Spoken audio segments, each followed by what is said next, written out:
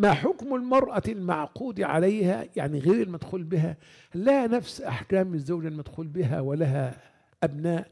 ما الحكم إذا قرر الزوج تطليقها قبل الدخول بها لخوفه من عدم العدل بين الزوجتين والمشاكل؟ نمشي واحدة واحدة. المرأة المعقود عليها غير مدخول بها. هل لها نفس أحكام الزوجة المدخول بها؟ طبعا يبدأ القسم عندما تنتقل إلى الحياة في كنفه عندما يجمعهما سقف واحد وبيت واحد. الفترة العقد جرت عادة الناس إن في هذه الفترة هي فترة تعارف وتواصل وتزاور تشبه من بعض أوجهها. فترة الخطبة وإن كانت هي ليست مخطوبة هي زوجة وله أن يستمتع بها. وبالمناسبة إذا تعارف الناس أن أن للبناء إشهارا. فلا ينبغي أن يعتمد على مجرد العقد وحده في بناء قبل إعلان الزفاف. وإن كان يحل شرعا لكن المعاني العرفية ينبغي أن تستصحب حتى لا يجعل سبيلا إلى عرض هذه المرأة إذا طلقها قبل أن يعلن زفافهما وكانت قد علقت منه وأصبحت حاملا. فيعني النفقة تكون بالاحتباس. عندما تنتقل إلى بيت الزوجية وتحتبس في بيته لمصلحته ومصلحة أولاده وبيته ورعاية شأنه هنا تبدأ حساب النفقة. في هذه الفترة يكون التهادي والتزاور بالمعروف.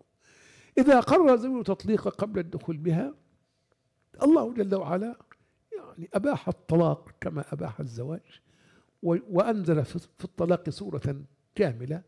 وإن كان الشريعة تحرص على الإصلاح بين الزوجين وعلى تفادي الأسباب التي تؤدي إلى إيقاع الطلاق لكن على كل حال ربما يكون الطلاق في هذه الحالة قبل الدخول أيسر من كونه بعد الدخول ووجود أولاد وتبعات وكذا وكذا. لكن لا ينبغي لأحد من الناس أن يتسرع وأن يبادر إلى الزواج قبل أن يعد للأمر عدته وقبل أن يحسب له حسابه.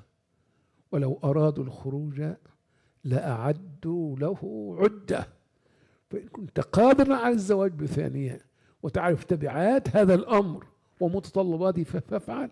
وإلا فاعرف لرجلك قبل الخطو موضعها حتى لا تغامر ب لا تغامر بالنساء وتعقد عليهن ثم تكسر قلوبهن بعد فترة بدعوى أنك عجزت عن العدل وتريد الطلاق. على كل حال نحن لا نحرم ما أحل الله عز وجل.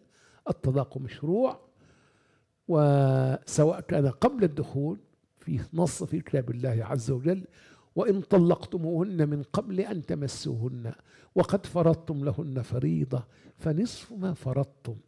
إلا أن يعفون أو يعفو الذي بيده عقدة النكاح وأن تعفوا أقرب للتقوى ولا تنسوا الفضل بينهم. يا أيها النبي إذا ط... يا أيها الذين آمنوا إذا طلقتم النساء